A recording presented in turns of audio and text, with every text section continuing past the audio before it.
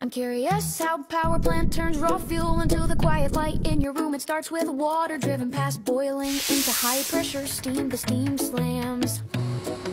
A turbine that spins thousands of times each minute. The shaft turns a generator packed with copper coils and strong magnets. And that motion shoves electrons along the wires. Those moving electrons are the electricity you use. Coal burn carbon to make the heat. Gas plants fire turbines directly. Nuclear plants split atoms to release steady heat. Hydro plants let fall in water. Spin the run. Wind farms use moving air to drive blades. And solar thermal fields use mirrors to make steam different sources. One blueprint, heat or motion into rotation and rotation into current inside the generator. The alternator locks to a steady grid